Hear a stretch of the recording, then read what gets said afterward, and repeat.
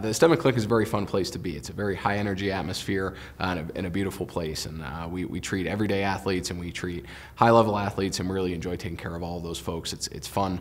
Uh, it's a fun atmosphere. It's a fun place to live and work. I do mostly foot and ankle surgery. I also do some general trauma surgery, uh, taking care of broken bones, uh, but I specialize mostly in foot and ankle surgery.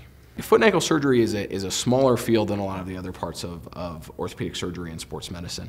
Uh, when you look at the amount of injuries, there are less injuries to the foot and ankle, and there, there are, uh, uh, it's a very specific area. Uh, it's a very complex area. There are a lot of bones and joints and ligaments that, that are within the foot and ankle, and I wanted to specialize that in that and really uh, provide patients uh, new and unique ways to treat those injuries and continue to push the envelope in terms of treatment.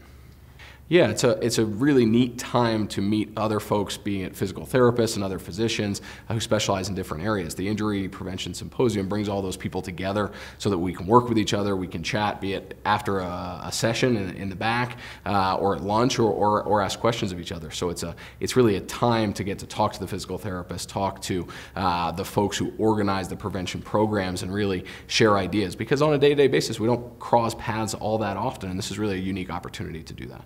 Today I spoke about ankle injury prevention, specifically lateral ankle sprains. There can be sprains of the outside of the ligament or, uh, excuse me, the outside of the ankle or the inside of the ankle. It's more common to have a lateral ankle sprain and it's actually the most common injury in all of sports.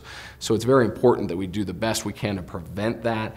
Uh, there are ways you can do that, be it with bracing and taping if someone's had a prior injury or uh, with specific warm-up exercises and strengthening the foot and ankle uh, to prevent an ankle sprain. But it's the most common sports injury, so it's important that we do what we can to prevent that. A very common injury, there are 23,000 ankle sprains a day in the United States. So uh, some of them need, need medical care, some of them do well uh, on their own, but we're always happy to see people and help them sort of figure out exactly what treatment they need. Most go on to heal. 90% of the time ankle sprains will heal with some conservative treatment, we call it. Sometimes a brace, sometimes just some rest and ice, uh, and then a physical therapy program. Sometimes it's home, sometimes it's a formal physical therapy program.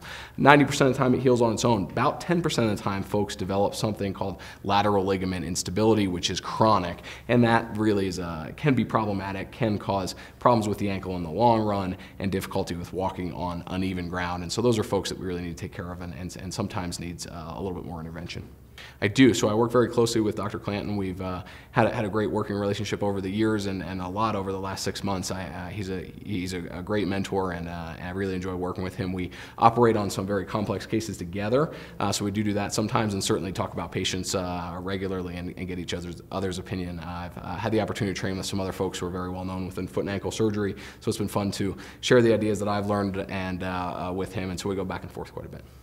Yeah, this is a very unique place. We can do uh, a lot of research here and we have the ability to do that, which is part of what drew me here. Uh, and it's a very, very unique place to do research. We have sort of our, our, everyday athletes and then we have Olympic athletes and we can study those patients when we learn certain things from the Olympic athletes that we can transfer to our sort of weekend warriors and our, and our everyday folks and, and, and, it flows the other way as well. So it's a very unique place to, uh, to do research and we really appreciate that about it.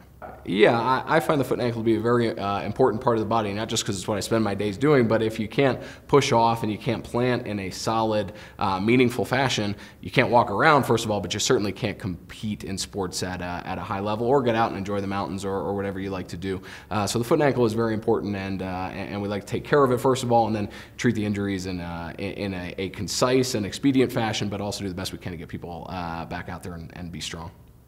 Yeah, something when we talk about sort of care of the foot and ankle, it's important. Uh, we often talk about stretching of the plantar fascia uh, and also stretching of uh, the Achilles tendon. And so it's important to, to work on those things. Over our lives, they tend to get a little tighter. So your plantar fascia will tighten up, your Achilles tendon will get tighter. And so we do recommend uh, just for, uh, for, for folks who want to participate in sports uh, that they work on those things daily to both work on both their plantar fascia and also their Achilles tendon. Spend a couple of minutes stretching. It'll prevent foot and ankle injuries in the long run.